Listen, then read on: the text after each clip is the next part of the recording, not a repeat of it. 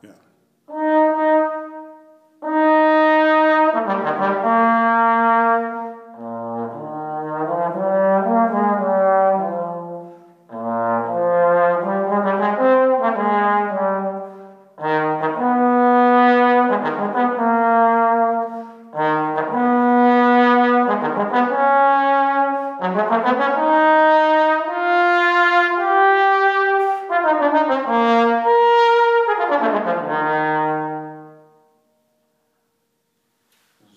Speel eh, het eh, tromboneconcert van Ferdinand David.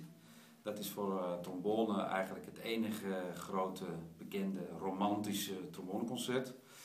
Het is geschreven, eigenlijk was de opdracht voor Mendelssohn. Alleen door alle drukte die hij had en hij ging trouwen en er was van alles aan de hand, waardoor hij er geen tijd voor had. En heeft hij gevraagd de concertmeester van zijn orkest in Leipzig, dat was Ferdinand David, of hij niet dat eh, concert wilde schrijven. En het is wel onder eh, leiding van Mendelssohn in première gegaan in Leipzig. En eh, meneer David is vooral beroemd geworden omdat hij een hele beroemde vioolmethode heeft geschreven.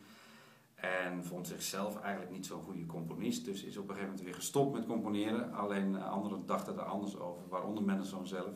Die hem juist aangemoedigd heeft om te blijven componeren. En dus een van de weinige stukken die er zijn van hem is dit tromboneconcert van eh, Ferdinand David.